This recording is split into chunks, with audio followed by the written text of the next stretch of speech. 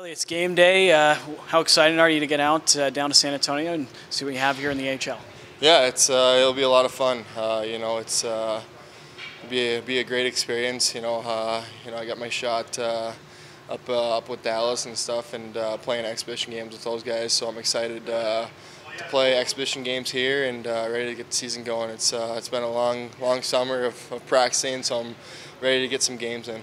Like you said, playing up in Dallas in those preseason games. What did you take out of your time in the NHL?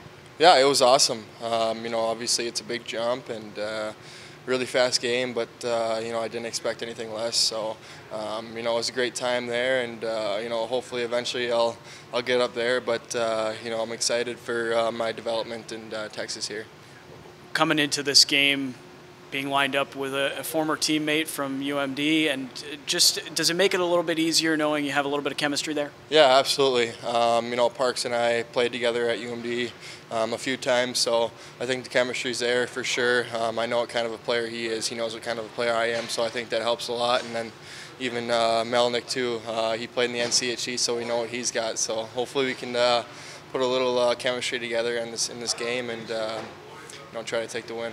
What were some of the expectations that the coaches outlined to you, just not only this whole week, but leading into tonight's game?